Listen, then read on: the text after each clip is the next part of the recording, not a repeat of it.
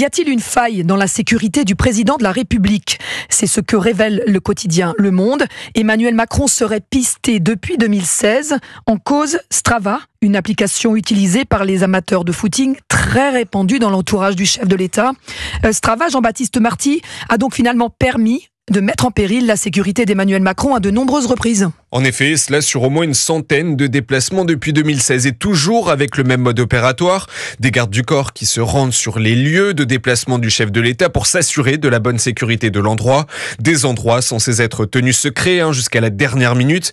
Mais une fois sur place, ces amateurs de course à pied partageaient leur footing sur Strava, une application prisée des amateurs de running. Au moins 12 de ces gardes du corps y sont inscrits. Sur cette application, il suffit de connaître le nom de l'utilisateur pour accéder à toutes ces données. C'est ainsi qu'en 2022, deux jours avant les funérailles de la reine, deux gardes du corps d'Emmanuel Macron partagent leur footing au départ de l'hôtel de Savoie, là où dormira Emmanuel Macron quelques jours plus tard. Une erreur de débutant dans la pourtant très haute sécurité mise en place par l'Élysée. Jean-Baptiste Marty du service police-justice d'Europe 1.